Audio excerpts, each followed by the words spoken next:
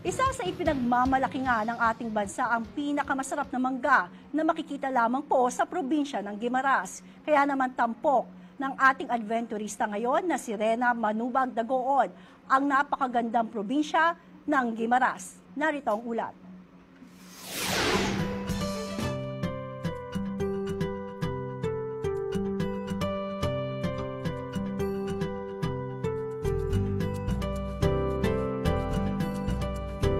Matamis, masarap at mabango. Ganito kung ilarawan ng everyone's favorite na mango. At syempre, wala ka ng ibang pupuntahan kung ang hinahanap ang the best na manggang matitikman. We're about to visit the mango capital of the Philippines at last. Tara, let's go mga kaibigan at mag-enjoy ng wagas sa Guimaras. Bukod sa mga nagagandang beaches at naglalawakang farms dito, ang natatanging islang ito may tinatagong ganda at mga kamanghamanghang kwento. Ilang mega amazing na historical and iconic destination ang hindi pwedeng palagpasing mapuntahan kung saan tila magta-travel back in time ka sa naging makulay nitong kasaysayan. First stop sa ating Mangarific Tour at the Mango Capital ang San Lorenzo Wind Farm kung saan makikita ang naglalaking wind turbines. 27 wind turbines na makikita dito sa San Lorenzo, probinsya ng Guimaras, ang isa sa mga dinadayo ng mga turista tuwing pumupunta sila sa isla. Noong 1854, nang ipinatayo ng mga Amerikano ang pinakaunang windmill sa lalawigan para sa paggiling ng butil at paminta, pagbomba ng tubig at paglagari ng kahoy. Ngayon, level up ng technology. Upgraded na rin ang function ng wind-powered machineries. From windmills to wind turbines real quick. Ang dating para lang sa agrikultura, ngayon ay nakapag-supply na ng kuryente sa malaking bahagi ng probinsya. Sa pamamagitan kasi ng wind turbines na i-convert ang kinetic energy mula sa hangin into electrical energy na magagamit sa mga kabahayan at iba't ibang establishmento. Ang nakukuhang enerhiya mula sa wind turbines ay may tuturing na renewable energy kaya bukod sa hindi ito mauubos, nakakatulong rin ito sa patuloy na pangangalaga ng ating kalikasan. Patunay nga lang yan na maraming mga paraan para masiguro na ang mga susunod na henerasyon ay may maayos na mundong madaratnan. Hashtag Now You Know. O di ba? May kuryente na, may instant tourist attraction pa. Manggaling naman talaga ang Gimaras. Mas likely considering that uh, Guimaras daw is uh, well known na sa buong bansa. Saka sa mas likely kaabot sa ibang ibang uh, sa mundo. We expect uh, more uh, tourists will come.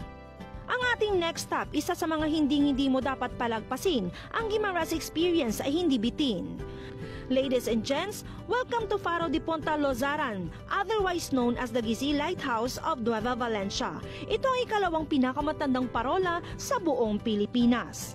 Ang Gisi Lighthouse na ito ay pangalawa sa pinakalumang lighthouse sa buong bansa. Ito ay unang inilawan noong 1894. Ang structure na ito ay made sa prefabricated metal na galing pa sa bansang France at ang tisa ay galing sa bansang Portugal at ang semento naman ito ay galing sa bansang England. Isa ang parola sa Gisi na marami pang lighthouses na ipinatayo ng mga Espanyol.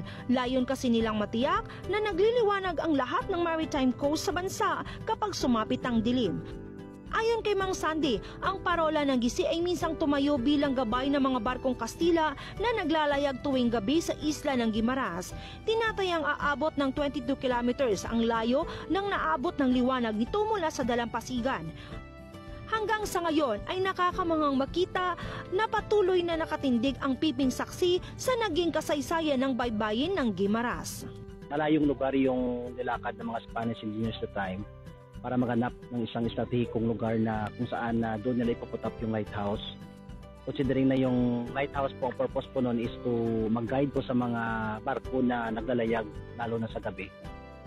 Ah, hanggang na nakapunta sila sa lugar na to at dito nila na finalize yung decision nila nito mag-put up ng lighthouse. At syempre, hindi makukumpleto ang gala kung walang naiuwing mangalicious na pasalubong mula sa Trappist Monastery. Dito, may dried mango, mango jam, mango utap, mango juice at mga mango good vibes sa'yo. Name your mango and they have it on the go.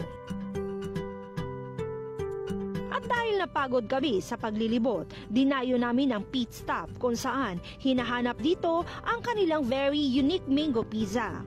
They have also various dishes kung saan ang pangunahing nagpapalasa ang nagtatamisa nilang mangga. Sinong mag-aakalang pwede palang ihalo ang mangga sa dinuguan? Mayroon pang pork sizzling mangga, beef mango bulalo, chicken mango adobo at chicken mango curry. Napaka-mango-licious naman talaga. Truly, Gimaras Island is a place unlike any other at ang pagbisita ko dito is a magical experience that I remember forever.